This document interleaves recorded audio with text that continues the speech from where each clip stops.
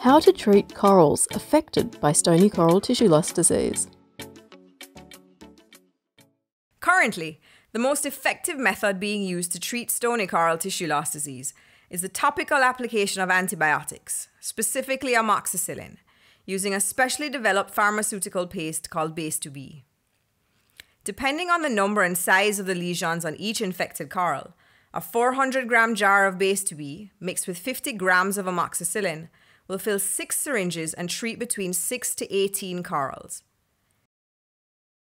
This video will demonstrate how to apply the Base2B amoxicillin mixture to corals that have been affected by stony coral tissue loss disease.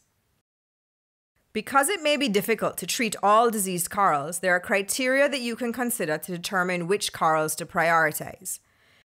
Consider the following. What species are they? Some susceptible species, such as brain, star, and starlet corals, contribute substantially to reef building, so they may need to be prioritized.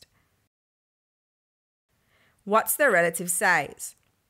Colonies that are large for their species are likely to be older and contribute more substantially to reproduction, so you can prioritize treatment for larger individuals.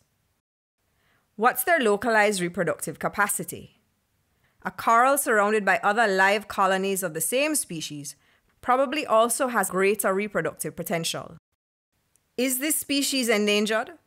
Some of the coral species that are most susceptible to this disease such as the pillar coral and the lobe star coral, are listed as vulnerable and endangered respectively on the IUCN's Red List of Species.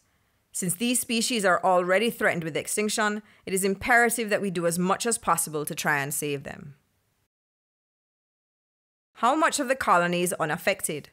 We recommend treating a coral if at least 50 to 75% of its tissues are still alive. This will ensure that most of the coral colony will survive. How abundant are the lesions? Treatment efforts are most efficient if you focus on corals with easily treated lesions, such as those with a small number of lesions or small lesion sizes. Is the coral an iconic coral that is recognized as being important for historical, educational, or economic purposes? Try to treat if this answer is yes.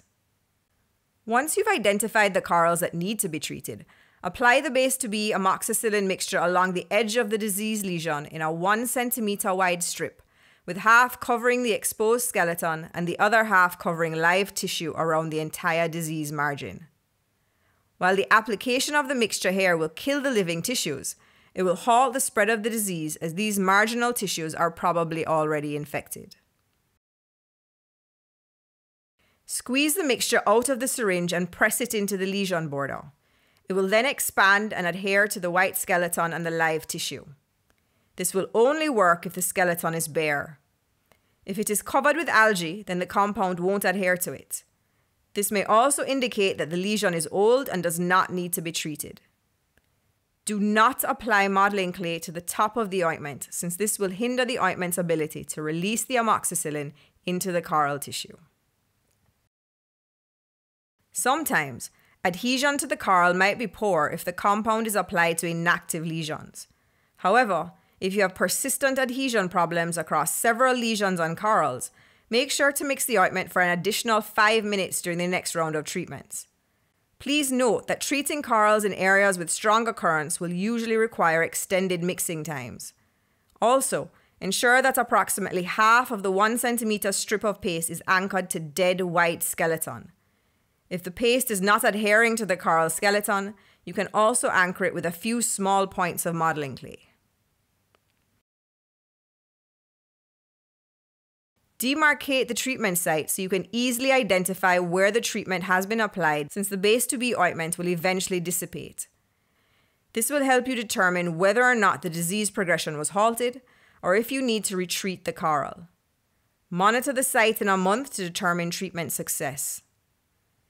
We hope this video will help you in your efforts to treat your reefs. For more information on stony coral tissue loss disease, please go to the coral disease page on GCFI's website at this link, the coral disease page on AGRRA's website at this link, or Ocean Alchemist's website at this link. Thank you to NOAA's Coral Reef Conservation Program, to the Turks and Caicos Reef Fund, to Ocean Alchemists, Nova Southeastern University, Roatan Marine Park, and to many others who helped with editing this video. Please don't hesitate to get in touch with us if you need more help.